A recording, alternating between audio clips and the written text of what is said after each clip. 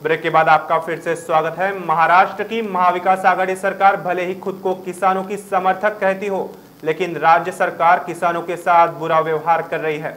राज्य में अनेक ज़िले बेमौसम बारिश के चपेट में आने से किसानों की फ़सल बर्बाद हो गई, लेकिन किसानों को जो मदद मिलनी चाहिए थी, अब तक वो उससे वंचित है।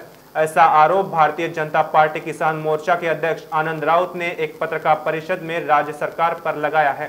बघा या महाराष्ट्रामध्ये महाविकास आघाडीच्या नावाने सरकार दोन वर्ष स्थापन झाले. खऱ्या अर्थाने हे महाविकास आघाडी सरकार नसून महाभकास आघाडी सरकार आहे.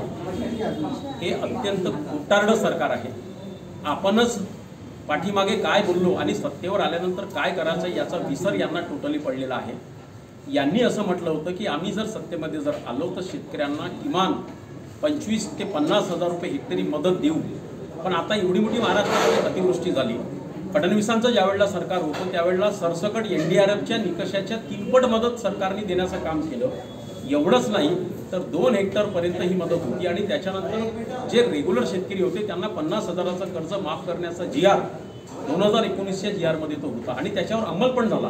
पण या लोकांनी स्वतःच बोलायचं आणि जेव्हा शेतकरी संकटात आल्यानंतर केवळ दहा हजार रुपये हेक्टरी मदत जाहीर करून शेतकऱ्यांच्या तोंडाला यांनी पानं पुसलेली आहे एवढंच नाही तर शेतकरी आमचा संकटात असताना या महाराष्ट्रामधल्या चौवेचाळीस लाख शेतकऱ्यांकडे जे वीज जोडणीचं कनेक्शन आहे त्याच्यापैकी किमान सात ते आठ लाख शेतकऱ्यांचं कनेक्शन कापण्याचं महापाप यांनी केलं.